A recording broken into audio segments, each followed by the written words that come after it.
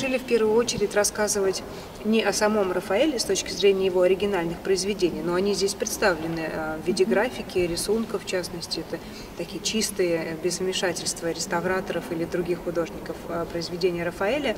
А мы решили проиллюстрировать наследие Рафаэля, показать, каким образом его произведения могли влиять на последующие поколения. Поэтому выставка разделена на несколько таких больших я бы сказала, компартиментов или разделов для того, чтобы показать каждое столетие. В этой выставке мы отражаем пять столетий.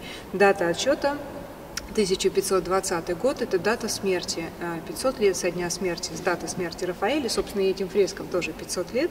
И вот с 1520 года мы начинаем следовать до 2020, до современных художников, поэтому все пять столетий у нас э, отражены. Отражены по-разному, потому что в каждое столетие от Рафаэля брали что-то свое, где-то он был очень популярен, на него только и ориентировались, а где-то Рафаэля уже не воспринимали и считали, что это скучно, неинтересно, интересно, и нужно от этого освобождаться.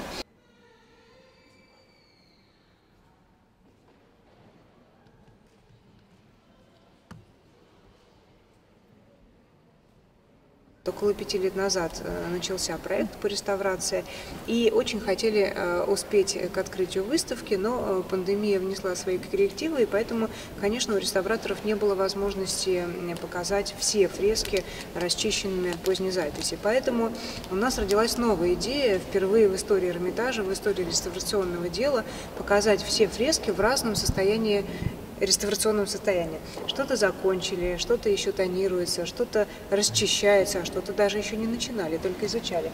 И вот теперь обратите внимание, здесь очень хорошо видно, что эта фреска находится в таком промежуточном состоянии. Верхняя и нижняя части этой фрески – это уже расчищенная э, авторская живопись. И вдруг мы увидели, что э, эти колени, например, у Венеры, когда-то не были обнаженными, а они закрывались драпировкой.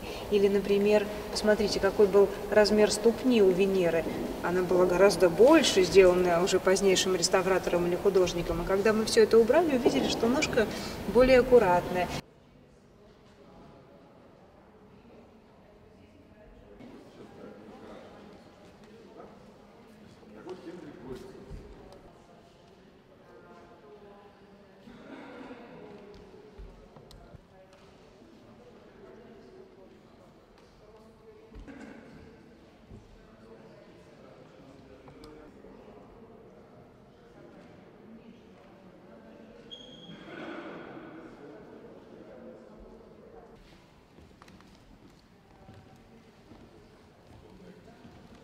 Нему относились по-разному. Даже современники Рафаэля к нему относились, кто-то его обожествлял, кто-то говорил о нем как о самом великом художнике, а кто-то совершенно не воспринимал, например, Себастьяну Дель Пьомбо, это э, ученик и коллега Микеланджело Буонаротти, такой антипод Рафаэлю, так он писал о том только в негативном ключе, называл всех учеников Рафаэля и самого Рафаэля, поэтому надо сказать, что и при жизни Рафаэля не всегда принимали серьезно, особенно э, ученики и помощники Микеланджело.